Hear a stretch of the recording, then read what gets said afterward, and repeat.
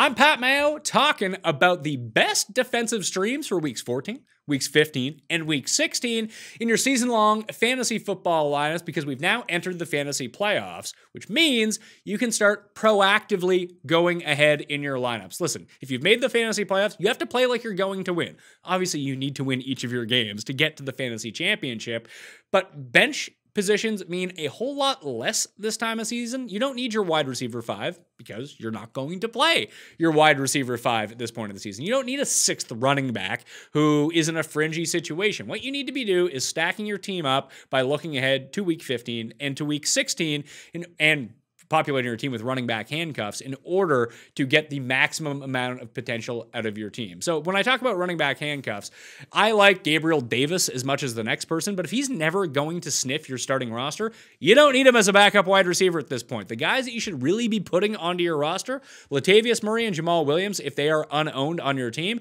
if the starters go down in New Orleans or Green Bay, these guys are top 10 running backs. All of a sudden you get a free pickup and I have a top 10 running back on your team. That's a guy you might actually play. Not one of these, not the Frank Gores of the world, uh, although Frank Gore is currently injured. But you, you, see what I'm saying here. You don't need Phillip Lindsay on your roster anymore uh, unless he is a there for a pure handcuff. You're not going to play him. So you need just to think about handcuffs moving forward. Like uh, Tony Pollard is another one. If something happens to Zeke, not that Zeke is great by any means, but all of a sudden Tony Pollard would enter the running back two conversation for the rest of the season should anything happen to Zeke. That's where you should be allocating your bench spots right now because not on, whether you use them or not is kind of irrelevant. Whether you have the starter or not is also irrelevant irrelevant because you take them off the waiver wire so your opponents cannot pick them up to play against you, and you might screw over one of the other teams. There's nothing wrong with hoarding talent at this time of the season, just like looking ahead to the waiver wire for weeks 14, 15, and 16. For weeks 14, Washington, San Francisco, Houston, Seattle, and Kansas City, all really good pickups for defense. They're all probably going to be top 12 defenses. Now, if you have a good defense, continue to ride them, obviously. But if you're playing the streaming game, that's where you should be looking for week 14. For week 15, Buffalo is at Denver, picking on Drew Lock, never a terrible idea. Tennessee at home against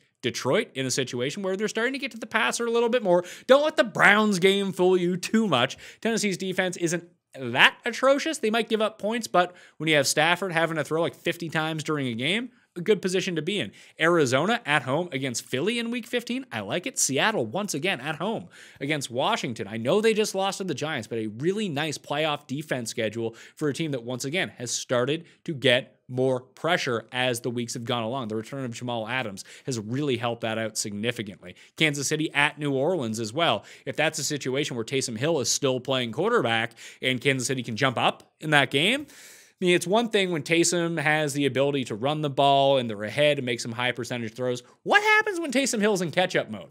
I don't know. That's a situation where you probably want the opposing defense uh, before we actually find that out.